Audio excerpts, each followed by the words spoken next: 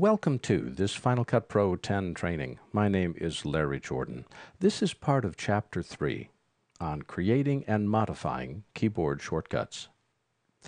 The goals for this session are to showcase the extensive ability Final Cut Pro 10 has to create custom keyboard shortcuts, and this is a huge improvement over how we create keyboard shortcuts in Final Cut 7. This tutorial is designed to show you how to use it.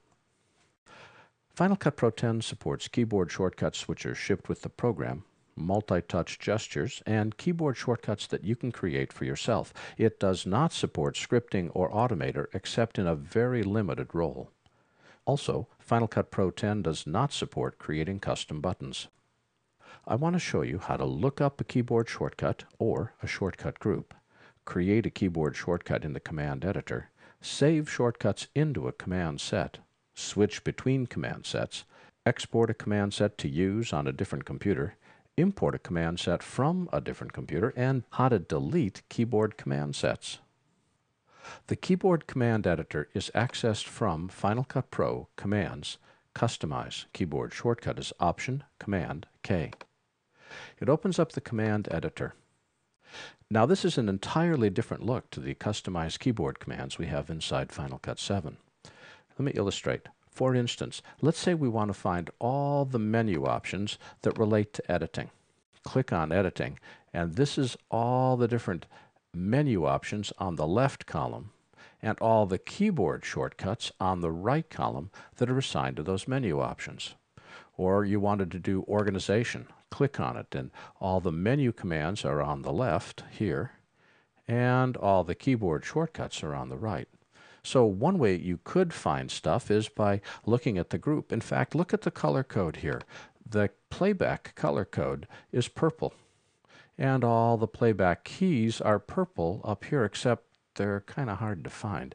So let's click this button right here. And notice how it grays back all the keys that are not related to playback. I love this part. It helps you to see what the keys are, as well as color coding them. But it gets even cooler. Watch this. I want to look at all the Final Cut commands. I want to see what commands are assigned to the letter A. So I click on the letter A, and over in the key detail, the letter A by itself is the arrow tool.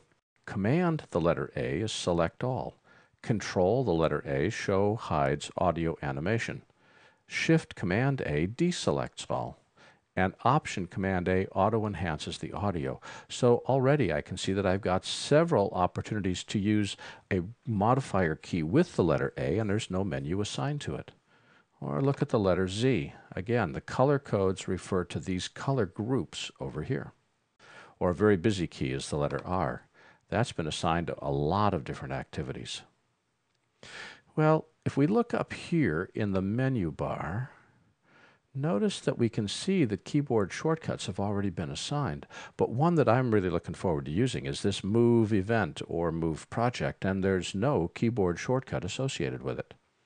Hmm, we need to fix that. So how do we do that?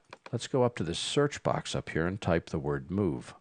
And all the different menu commands that have the word move associated with it show up. There's six of them, but notice that three of them deal with removing stuff, which shows that the search actually does a search within the word.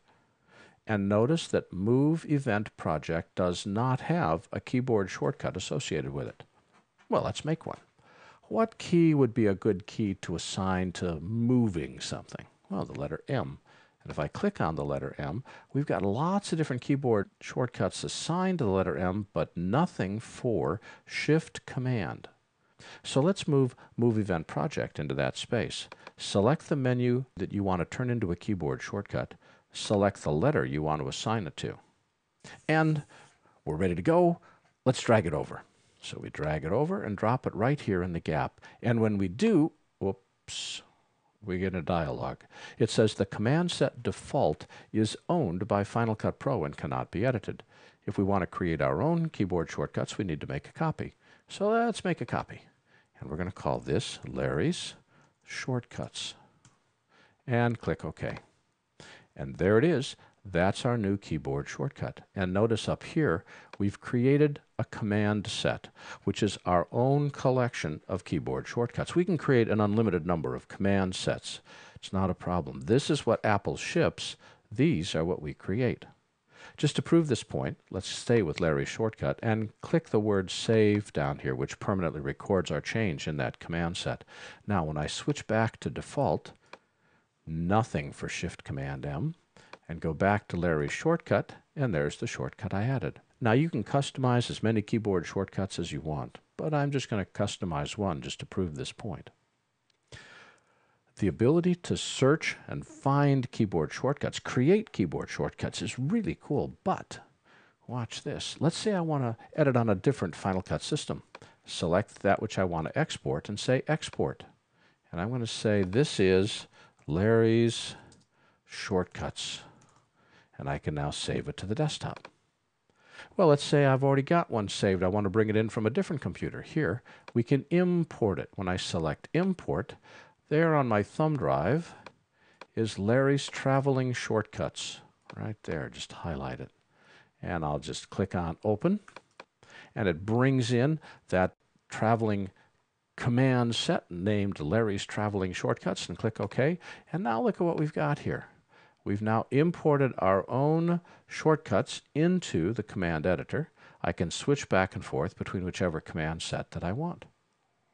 This is very cool, but it's even nicer than that because if I click close, if I go up to Final Cut Pro and go to commands, notice there's my three command sets. The default that's shipped by Apple, the custom shortcuts that I just created, and the traveling shortcuts that I imported from my other system.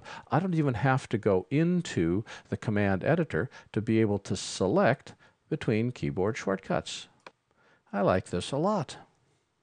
Keyboard shortcuts are accessed from Final Cut Pro, Commands, Customize. Keyboard shortcut is Option Command K. Keyboard shortcuts are a great way to speed the editing and finishing of a project. And while there are hundreds of default keyboard shortcuts, you can easily customize your own, save them to disk, switch between sets, and share them between different computers. My name is Larry Jordan, and thanks for watching this Final Cut Pro 10 training.